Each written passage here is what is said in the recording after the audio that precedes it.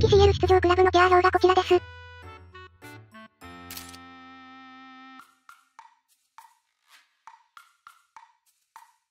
俺的今季 CL ペア表。時代変わったな7去年一度もアーセナルに勝ってなくね。リーグ戦のアーセナルと CL のアーセナルは別物っすよ。アーセナルビラより下はないだろ。ビラは強いよ。でもポット4に入ってる時点でスイスドロー方式だとバカきちいと思うの私だけか？レバークーゼン高すぎでは、インテルのとこに来るのはバイエルンでしょう。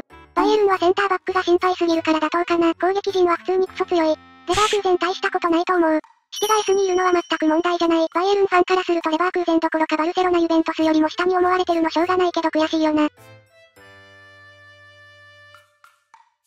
シティに昨季勝ち越してるのに D にぶち込まれるアーセナルさんに涙が止まらない。チェルシーシーじゃんって思ったらビラで草。バルサビーカーまあ去年ベスト8だしそんな評価になるのはわかるけど、あとジローナそんな強くないです。ミランマジなこと言うと D が適正。今年チェルシー良さそうじゃない CL 圏ではございません。